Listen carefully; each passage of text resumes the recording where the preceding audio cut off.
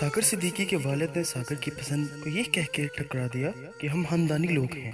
کسی تندور والے کی بیٹی کو اپنی بہو نہیں بنا سکتے۔ غصہ میں اس لڑکی کے گھر والوں نے لڑکی کی شادی پنجاب کا ایک ضلع حافظ آباد میں کر دی، جو کہ کامیاب نہ ہوئی۔ لیکن ساگر صدیقی اپنے گھر کی تمام آسائش و آرام چھوڑ چھاڑ کر داتا کی نگری لاہور رہنے لگا داتا دربار لاہور۔ جب اس کی محبوبہ کو پتا چلا ساگر داتا دربار پر ہے، تو وہ داتا صاحب آگے کافی تلاش کے بعد ہر تلاش کرتے ہوئے ایک نشیوں کے جرمٹ میں ساگر صدیقی مل ہی گیا۔ اس نے ساگر کو اپنے ساتھ چلنے کو کہا اور یہ بھی بتایا کہ مجھے میرے حامد نے ماتھا تک نہیں لگایا اور ہماری دستان محبت سن کر مجھے طلاق دے دیا اب اگر تم چاہو تو مجھے اپنا لو۔ ساگر نے کہا بندہ پرور کوئی حیرات نہیں، ہم وفاؤں کا سلا مانگتے ہیں۔ غربت ڈپریشن ٹینشن کی وجہ سے۔ ساگر صدیقی کے آخری چند سال نشے میں گزرے اور وہ بیک مانگ کر گزارا کیا کرتے تھے۔ گلیوں میں فٹ پاتھ پر سویا کرتے تھے۔ لیکن اس وقت بھی انہوں نے شاعری لکھنا نہ چھوڑی میری غربت نے میرے فن کا اڑا رکھا ہے مذاق۔ تیری دولت نے تیرے عیب چھپا رکھے ہیں۔ زندگی جبر مسلسل کی طرح کاٹی ہے۔ جانے کس جرم کی پائی ہے، سزا یاد نہیں۔ آؤ، ایک سجدہ کریں عالم مدہوشی میں۔ لوگ کہتے ہیں کہ ساگر کو خدا یاد نہیں۔ ساگر صدیقی کہتے ہیں کہ جب جنرل ایوب خان صاحب پاکستان کے صدر تھے، تو ان دنوں جنرل ایوب خان صاحب کو بھارت میں ایک مشاعرے میں مہمان خصوصی کے طور پر بلایا گیا۔ جب مشاعرہ سٹارٹ ہوا تو ایک شاعر نے ایک درد بری غزل سے اپنی شاعری کا آغاز کیا۔ جب وہ شاعر شاعری کر کے فارغ ہوا تو جنرل صاحب اس شاعر کو کہتے ہیں کہ محترم، جو غزل آپ نے سٹارٹ میں پڑھی وہ بہت درد بری غزل تھی۔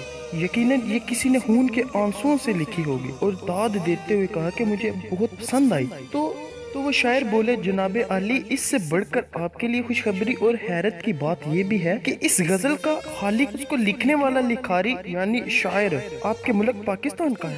جب جنرل صاحب نے یہ بات سنی تو آپ دھنگ رہ گئے۔ اتنا بڑا ہیرا میرے ملک کے اندر، پر مجھے پتہ ہی نہیں۔ جب آپ نے اس شاعر سے اس غزل کے لکھواری یعنی شاعر کا نام پوچھا تو اس نے کہا، جناب علی، اس درد بری شاعری کو ساگر صدیقی کے نام سے جانا جاتا ہے۔ جب جنرل صاحب پاکستان واپس آئے اور ساگر صدیقی صاحب کا پتہ کیا، تو کسی نے بتایا کہ جناب علی وہ لاہور داتا صاحب کے قریب رہتے ہیں۔ تو جنرل صاحب نے اسی وقت اپنے چند خاص آدمیوں پر مشتمل وفد حائف کے ساتھ لاہور بھیجا اور ان کو کہا کہ ساگر صدیقی صاحب کو بڑی عزت و تکریم کے ساتھ میرے پاس لاؤ اور کہنا کہ جنرل ایوب خان صاحب آپ سے ملنا چاہتے ہیں۔ جب وہ بیجا ہوا وفد لاہور پہنچا تو انہوں نے اپنا تعارف نہ کرواتے ہوئے داتا دربار کے سامنے کھڑے چند لوگوں سے شاعر ساگر صدیقی کی رہائش گاہ کے متعلق پوچھا۔ تو ان کھڑے چند لوگوں نے تنزیہ لہجوں کے ساتھ ہنستے ہوئے کہا کہ کیسی رہائش؟ کون سا شاعر؟ ارے آپ اس چرسی اور بنگی آدمی سے کیا توقع رکھتے ہیں؟ اور پھر کھڑے ان چند لوگوں نے اشارہ کرتے ہوئے کہا کہ وہ دیکھیں، سامنے پڑا ہے چرسیوں کے جرمٹ میں۔ جب وہ جنرل ایوب خان صاحب کا بیجا ہوا وفد ساگر صدیقی صاحب کے پاس گیا اور ان کو جنرل صاحب کا پیغام دیا تو ساگر صدیقی صاحب کہنے لگے، جاؤ، ان سے کہہ دو کہ ساگر کی کسی کے ساتھ نہیں بنتی، اسی لیے ساگر کسی سے نہیں ملتا۔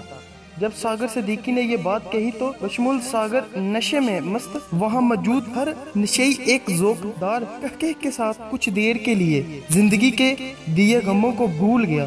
بہرحال بے پناہ، اسرار ترلوں کے باوجود وہ وفد واپس چلا گیا اور سارے احوال و حالات سے جنرل صاحب کو آگاہ کیا۔